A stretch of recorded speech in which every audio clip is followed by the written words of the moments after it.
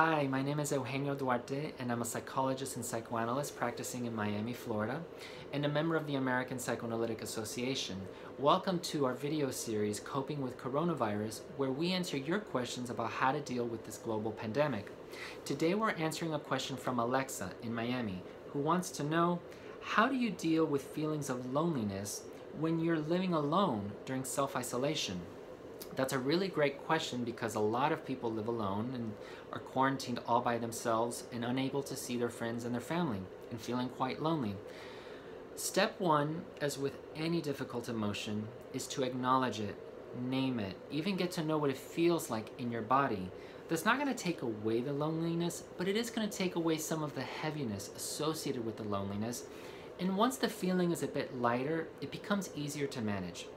The other thing to do is to pay attention to the tricks that your mind may be playing on you.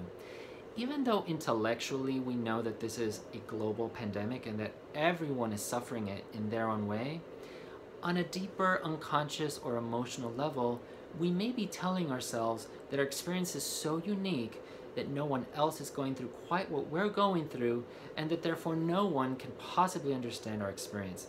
And needless to say, that's going to make you feel very lonely.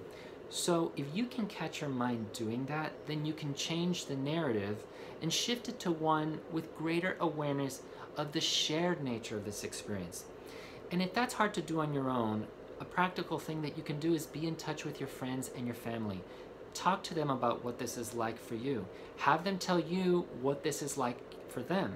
You're likely to find a lot of commonality and that'll help you to again become grounded in the shared nature of this experience and hopefully make you feel a little bit less alone. So let us know if this speaks to you and if you have a question that you would like answered, leave it in the comments below and we will try to get to it in the next video. Thank you.